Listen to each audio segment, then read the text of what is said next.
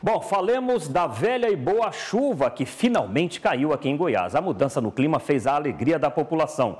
O WhatsApp aqui da TV Serra Dourada ficou ó, lotado de vídeos registrados em várias regiões aqui da capital e também em cidades do interior.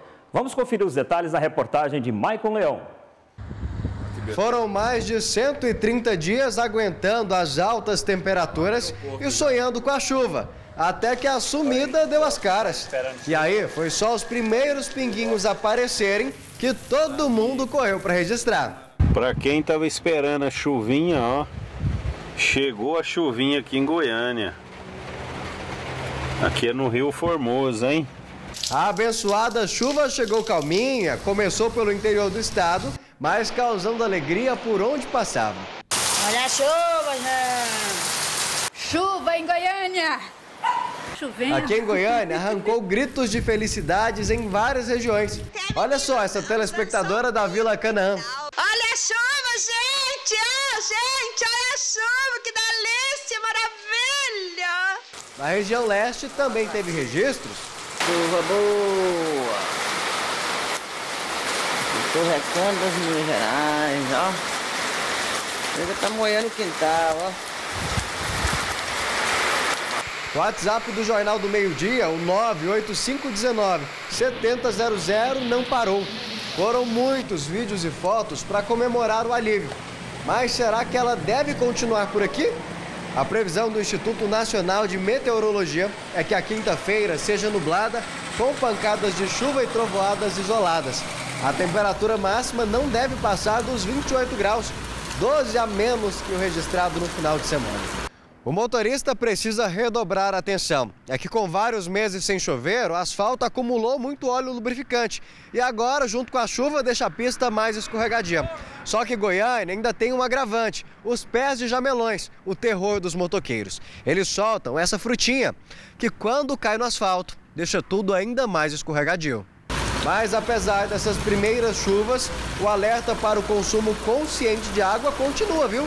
É preciso que o período chuvoso firme para a vazão do meia ponte aumentar. É o consumo consciente, né? Que tem que continuar, porque meia ponte só vai melhorar o nível aí da vazão sei lá, daqui depois de uma semana, duas aí de chuva forte realmente. E será que essa chuva vai continuar? É só aqui em Goiânia, região metropolitana? Em outras regiões do estado também está ou vai chover, dona Rosane Ferraz? Boa tarde para você. Boa tarde, Almi, que chuva boa, né? Olha só, como é que está agora nesse momento em Goiânia? A chuvinha tão tranquila, que chegou bem tranquila, bem calma. Almir, Luciana, sabe que ontem eu saí durante a chuva e a noitinha e até cheguei a registrar né, que a, aquela satisfação, mesmo com o trânsito congestionado, de ver a chuvinha, viu? Estava com falta até do congestionamento provocado pela chuva. Pois é, agora todo mundo quer saber, será que vai continuar chovendo? Final de semana, será que deve ser com chuva? Olha só, a previsão é que a chuva continue aí durante todo o dia de hoje, até o final do dia. Essa chuvinha vai continuar sim. Há previsão também de chuva para sábado e domingo. Amanhã o tempo deve permanecer um pouco mais firme, com sol e algumas nuvens, mas o final de semana deve ser sim de chuva. Depois o sol volta e aí depois só a meteorologia para dizer para a gente como deve ser daqui para frente. A temperatura deve permanecer aí entre 24 e 26 graus hoje, bem diferente né, daquele calorão de 40 graus que a gente enfrentando aí, aquele sol de rachar mamona.